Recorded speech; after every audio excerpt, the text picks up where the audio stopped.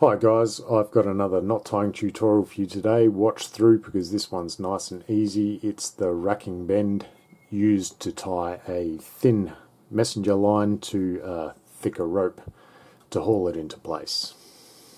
So to tie this one we will just start with our thicker rope and we'll form a bite by just folding that rope over. So we get this loop here and we can take our thinner rope and we'll start by tucking it down through that loop. And just feed a section out. And then we're going to take our working end around and back down through that loop.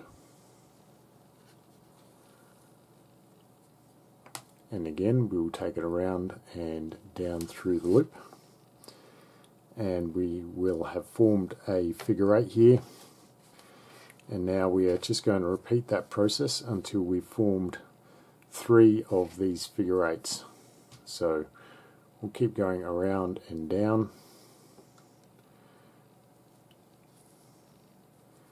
And then around and down again. And then one more time, around and down and then on our final one we're going to go around and we'll just tuck it underneath our third figure eight here on the bottom side. So we'll come around tuck it underneath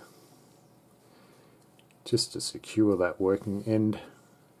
And then we can just pull this whole thing tight